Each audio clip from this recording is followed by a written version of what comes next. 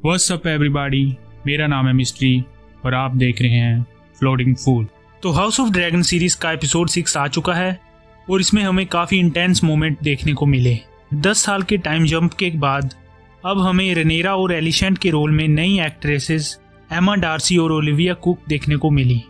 इस एपिसोड में हमें रनेरा और एलिशेंट के बीच आयरन थ्रोन के नेक्स्ट ईयर को लेकर तकरार भी देखने को मिली और डेमन और लेना वेलारियन के रिलेशन के बारे में भी बताया गया। सो so, इस वीडियो में मैं हाउस ऑफ़ ड्रैगन के सिक्स एपिसोड को एक्सप्लेन करूँगा। तो वीडियो को एंड तक ज़रूर देखना। और मैंने इस सीरीज़ के पिछले सभी एपिसोड्स को एक्सप्लेन किया है और उनकी प्लेलिस्ट भी बनाई है। तो उसे भी एक बार ज़रूर चेक कर लेना। और हाँ अगर चैनल पे नए हो तो प्लीज़ सब्सक्राइब करो and be a part of this journey so बिना किसी देरी के हियर इट गोज़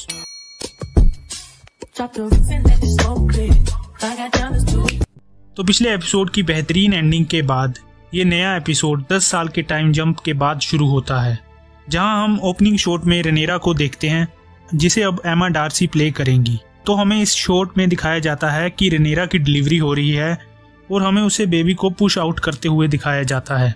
जिसके बाद हम एक हेल्दी चाइल्ड को देखते हैं, जो कि एक बॉय होता है। तभी वहाँ क्वीन एलिशेंट का एक मैसेज आता है कि वो रनेरा की बेबी को देखना चाहती है।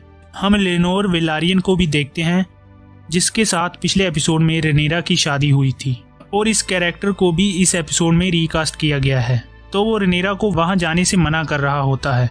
क्योंकि रेनेरा ने अभी जस्ट एक बच्चे को जन्म दिया है और वो चलने की हालत में नहीं है। पर रेनेरा उसकी बात नहीं मानती और अपने न्यूबॉर्न बेबी को लेकर लिनोर के साथ एलिशेंट से मिलने चली जाती है। हमें इस वन शॉट सीन में रेनेरा की तकलीफ़ को दिखाया जाता है कि वो कितने पेन में है और काफ़ी स्ट्रगल के बाद वो एलिशेंट के पास पहुँचती है। जहाँ हम विजेरियस को भी देखते हैं, जो काफ़ी कमज़ोर हो चुका है। विजेरियस और एलिशेंट पहली बार नेरा के बच्चे से मिलते हैं, जहाँ एलिशेंट बच्चे को लनोर के हाथों में थमाते हुए कहती है कि ट्राई करते रहो, क्या पता अगली बार तुम्हारा बच्चा तुम्हारी तरह दिखे। हमें पिछले एपिसोड में दिखाया गया था कि लेनोर होमोसेक्सुअल है, और इस एपिसोड में हमें रेनेरा के तीन बच्चे दिखाई देते हैं। इससे साफ़ पता चलता है कि इन बच्चों का फादर कोई और है। हम इस एपिसोड में टारगेरियन फैमिली के कई बच्चों को देखते हैं, जिनमें से एलिशेंट के चार बच्चे होते हैं, जो Aegon the second, Helaena, Aemond and Daeron होते हैं। हम इन सबके हेयर्स से पता लगा सकते हैं कि ये सब ट्रू ब्लड ऑफ़ टारगेरियंस हैं, क्योंकि टारगेरियंस के hair sort of silver colour के होते हैं। और दूसरी तरफ़ रेनेरा के किड्स जो जिसेरिस लुकेरिस और जोफ्री हैं, उन सब के हेयर डार्क ब्लैकिश टाइप के होते हैं, जिसके रीज़न को आगे एपिसोड में क्लियर कर दिया जाता है कि हार्बिन स्ट्रोंग, जो कि hand of the king Lyonel Strong के बेटे हैं, वो ही रेनेरा के बच्चों के फादर हैं, क्योंकि रेनेरा और हार्विन स्ट्रोंग पिछले दस सालों से एक रिलेशनशिप में है। हम इस एपिसोड में सर क्रिश्चियन कोल को भी देखते हैं, जिनके बिहेवियर में काफ़ी चेंज आ चुका है। क्योंकि रनेरा से प्यार में खता खाने के बाद अब वो काफ़ी एरोगेंट तरीके से बात करते हैं। एक जगह तो वो एलिशेंट के सामने रनेरा को गाली भी दे देते हैं। तो खैर, इस एपिसोड में वो रनेरा और एलिशेंट के किड्स को ट्रेनिंग भी दे रहे होते हैं, जहाँ वो रनेरा के बेटे से काफ़ी बुरे तरीके से पेश आते हैं, जिसके दौरान उसके रियल फादर हार्विन स्ट्रोंग और सर क्रिश्चियन कोल में फाइट हो जाती है। फिर हार्विन स्ट्रोंग को उनकी पोजीशन से हटा दिया जाता है और हम उनके पिता को उससे बात करते हुए देखते हैं, जिन्हें रनेरा और हार्बिन के रिश्तों के बारे में सब कुछ पता होता है। वो विजेरियस से जाकर कहते हैं कि वो अपने बेटे की बदसलूकी के कारण हैंड ऑफ़ द किंग की पोजीशन से रिजाइन करना चाहते हैं। पर विजेरियस इसे नकारते हुए कहते हैं कि वो ऐसा नहीं कर सकते। तो लॉर्ड लाइनल स्ट्रोंग कहते हैं कि वो अपने बेटे को वहाँ से ले जाना चाहते हैं, ताकि वो अपने हाउस हेरन हॉल पे वापस जाके वहाँ की जिम्मेदारियों को समझ सके।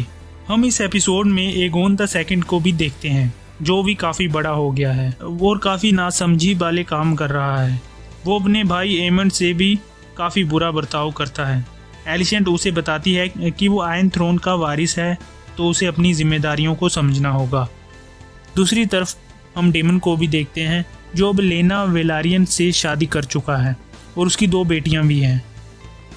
लेना वेलारियन अभी प्रेग्नेंट है विद द थर्ड चाइल्ड हम देखते हैं कि प्रिंस ऑफ़ पेंटोस, डेमन को ऑफ़र देते हैं कि वो पेंटोस में आकर रह सकते हैं और उन्हें काफ़ी धन दौलत भी दी जाएगी in exchange for the dragons हमें इस सीन में पता चलता है कि ट्रायआर्की ग्रुप अब डोन से समझौता करके काफ़ी स्ट्रेंथ में आ चुका है तो उनका सामना करने के लिए प्रिंस ऑफ़ पेंटोस, डेमन को ये ऑफ़र पेश करते हैं। पर लेना इस ऑफ़र से काफ़ी नाराज़ होती है और डेमन से अपनी नाराज़गी ज़ाहिर करती है। अगले सीन में हम देखते हैं कि Laena eventually goes into labour पर फ़र्स्ट एपिसोड में विजेरियस की वाइफ की तरह लेना की भी डिलीवरी सक्सेसफुल नहीं होती और फिर वही सिचुएशन अराइज होती है कि ना तो वो बच सकती है और ना ही उसकी औलाद, जिसके बाद हम लेना को उसकी दर्दनाक हालत में अपने ड्रैगन के पास जाते हुए देखते हैं। वो ड्रैगन के सामने ड्राकारिस बोलती है और ड्रैगन अपनी आग से लेना को वहीं जला देता है।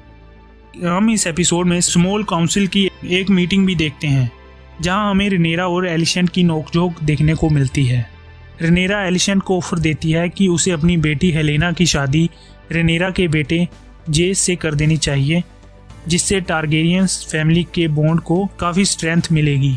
एलिशेंट इस बात को इग्नोर करते हुए कहती है कि वो इसके बारे में सोचेगी।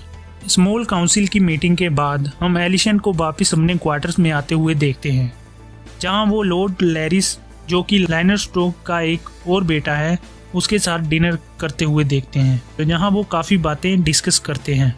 इसके बाद हम लैरिस को एक डंजन में देखते हैं, जहाँ कई प्रिजनर्स को कैद किया होता है। लैरिस उनको मर्सी ऑफ़र करता है, ताकि वो अपने नेक्स्ट प्लान में उनको शामिल कर सके। पर अगले ही शोट में हमें एक प्रिजनर की टंग को बेरहमी से काटते हुए दिखाया जाता है। आगे हम अगली सुबह हार्बिन स्ट्रोंग को, रेनेरा और किड्स को गुड बाय कहते हुए देखते हैं। जहाँ वो रेनेरा से कहता है कि वो उनसे दोबारा ज़रूर मिलेगा। रेनेरा भी बच्चों को कहती है कि वो लेटर्स लिखेंगे और हार्बिन को भेजेंगे। पर हम इसी सीन में देखते हैं कि जेस रेनेरा से पूछता है, क्या हार्बिन उसके पिता हैं या नहीं? क्या वो एक बास्टर्ड है? पर रेनेरा उसे कहती है कि वो और उसके भाई टारगेरियंस ही है। इसके बाद हम लेनोर को अपने न्यू लवर के साथ यार्ड में ट्रेनिंग करते हुए देखते हैं, जहाँ रनेरा आके कहती है कि वो ड्रैगन स्टोन जा रहे हैं। जिसके बाद रनेरा, लेनोर और उनके बच्चे ड्रैगन स्टोन चले जाते हैं और वजेरियस इस बात पे काफ़ी दुखी होते हैं। हम हेरन हॉल में हार्बिन और उसके पिता लाइनल को भी देखते हैं, जो अभी वहाँ पहुँचे होते हैं।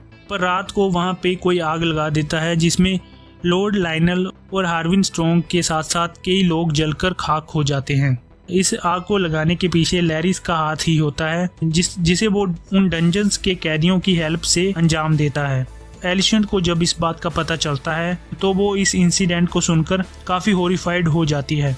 पर लैरिस इस बात से अनबोधर्ड है कि उसने अपने पिता और भाई को मरवा दिया है। और वो एलिशेंट से कहता है कि सही टाइम आने पर वो उसे इस बात का रिवार्ड ज़रूर देगी। और ऐसे ही इस हफ़्ते का ये एपिसोड ख़त्म हो जाता है, जो एक और बेहतरीन एपिसोड था। I think house of the dragon series Game of Thrones के लेवल पे पहुँच चुकी है क्योंकि ये भी सेम एक्साइटमेंट और कंटेंट पेश कर रही है, जो गेम ऑफ़ थ्रोन्स को देखकर फील होता था। So I am waiting for the next episode तो ये थी मेरी एक्सप्लेनेशन गाइज़ उम्मीद है कि आपको ये वीडियो पसंद आई होगी। इसलिए इसे लाइक एंड शेयर ज़रूर कर देना और पिछले एपिसोड की प्लेलिस्ट को भी एक बार ज़रूर चेक कर लेना। मैं ऐसे ही मूवीज़ एंड सीरीज़ रिव्यूज़ और सुपर हीरो न्यूज़ के बारे में वीडियोस अपने चैनल पे डालता रहता हूँ। तो मुझे सपोर्ट करने के लिए प्लीज़ एक बार उस रेड बटन को क्लिक करके मेरे चैनल को सब्सक्राइब कर देना, क्योंकि ये बिल्कुल फ्री होता है।